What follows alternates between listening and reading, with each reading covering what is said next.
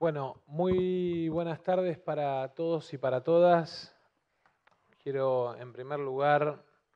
agradecer al embajador y a través del embajador al gobierno y al Banco Popular Chino, porque la economía argentina, como todos sabemos, a partir de la peor sequía de la historia, enfrenta el desafío de mantener sus reservas funcionando y fortalecidas a pesar de tener que enfrentarse con la dura realidad de que hay más de 15 mil millones de dólares de exportaciones de la Argentina que no van a ingresar. Y ese desafío nuevo que nos impone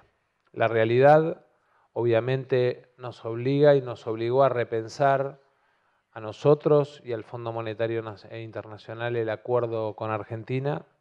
nos obliga a redefinir la estrategia de trabajo con importadores y exportadores. En ese sentido, el programa de incremento exportador que venimos llevando adelante, no solamente con las hojas, sino también con las economías regionales, empieza a mostrar signos de muy buen funcionamiento. Y también nos obliga a repensar el diseño de nuestra programación de importaciones. Argentina tiene un swap con China que funciona no solamente como instrumento de fortaleza o de fortalecimiento de las reservas de nuestro Banco Central, sino que a partir del trabajo creativo y organizado del Estado argentino, de la aduana, de la Secretaría de Comercio, del Banco ICBC como instrumento financiero y comercial,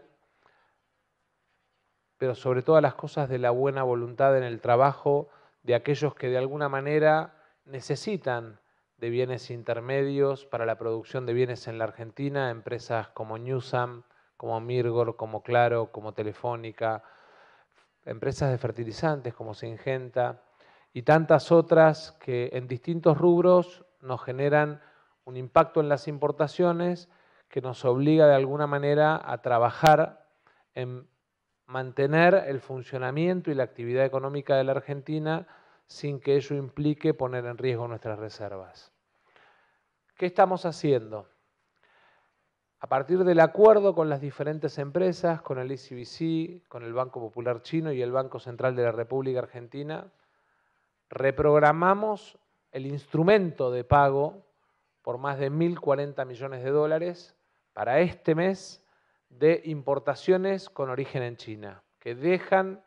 de pesar sobre el flujo de salida de nuestros dólares y pasan a ser parte del flujo de salida de yuanes a partir del buen uso que decidió el gobierno de China, que decidió el gobierno argentino para la promoción del swap, que es centralmente el fortalecimiento del comercio bilateral, del comercio exterior argentino y del comercio exterior chino. Pero además nos permite para los próximos meses trabajar en la posibilidad de adelantar el ritmo de importaciones. La gran mayoría de estas autorizaciones eran autorizaciones que se trabajaban a 180 días, con los yuanes se trabajan a 90 días, y de programar un volumen de importaciones en yuanes por más de mil millones de dólares a partir del mes que viene, que reemplazan el uso de dólares de la Argentina. Yo en primer lugar quiero agradecer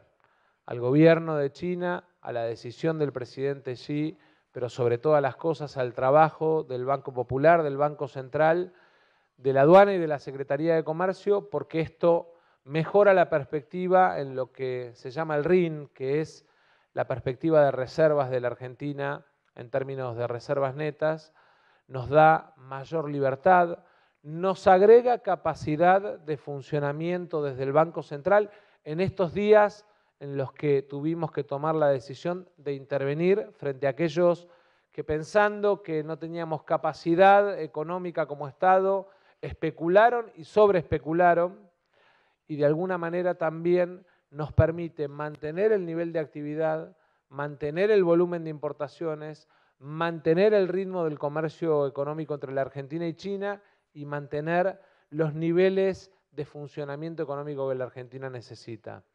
Creo muy importante entender que esta liberación de obligaciones de pago del Banco Central, no solamente de un stock, sino del flujo, es mayor fortaleza para las reservas, es mayor capacidad de intervención del Estado, es mayor libertad de nuestra economía, pero sobre todas las cosas es la garantía de seguir produciendo con bienes intermedios que se importan de China,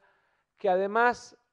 ya no sufren el proceso de triangulación que en algunos casos habíamos detectado. Esto es defender el valor del origen China y también defender el valor de las reservas argentinas, porque, digámoslo, también en el camino habíamos detectado operaciones de triangulación que de alguna manera se utilizaban para pagar más caro desde Argentina lo que le pagaban más barato a la República China, usando agentes o intermediadores en otros países, pero con mercadería procedente de origen china. Por eso quiero agradecerle, embajador, en nombre del gobierno argentino, porque esta cooperación nos da fortaleza, nos da capacidad de funcionamiento desde el Banco Central, nos da dinámica de funcionamiento económico y nos da la posibilidad de seguir adelante en lo, que es el sistema de producción y trabajo argentino, pero sobre todas las cosas en lo que tiene que ver con poder no solamente producir con bienes intermedios chinos, sino también, eh, como en muchos casos, exportar a partir de esos bienes intermedios a gran parte de los países de nuestra región. Quiero agradecerle a todas las empresas. No las quiero nombrar a todas porque tendría que nombrar supermercados como Cotor, energéticas como Pampa y tantas otras. Eh, porque en definitiva cuando trabajamos juntos, cuando ponemos buena voluntad, cuando somos creativos, podemos encontrar soluciones para el desafío que de alguna manera representa para nosotros enfrentar una crisis como la que representa enfrentar la peor sequía de la historia argentina. Así que muchísimas gracias y ahora a trabajar y a usar los yuanes, embajador. Gracias.